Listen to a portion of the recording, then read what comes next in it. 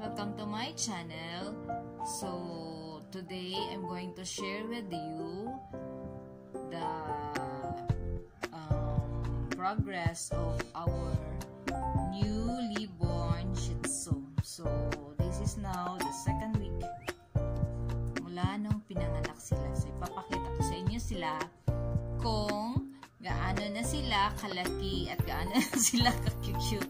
Tignan nyo, oh, ang likot-likot na sa kamay ko sila ngayon. So, ito yan sila guys. Oh,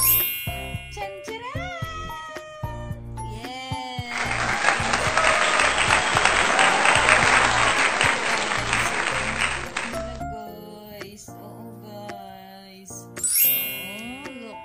They're so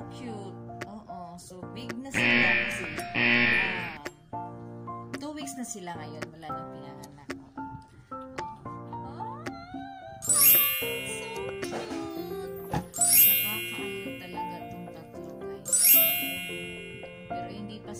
Nakakakita. Though, medyo bumubuka na yung mga nila, pero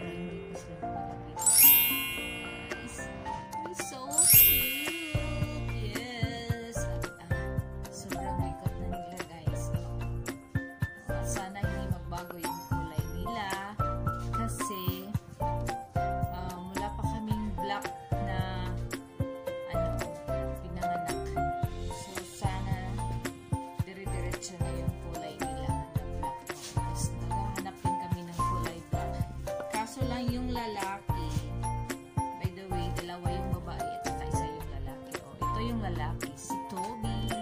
Pero itong dalawa babae. So, wala pa kaming fix na pangalan na ano, um, ina-assign. O, tignan nyo guys, o, pinag-ano nila yung kamay ko.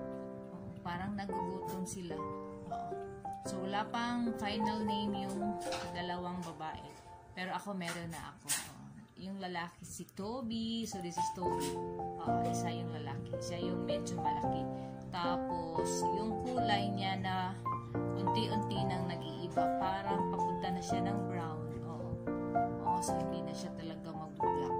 Oh, they're so cute. Oh.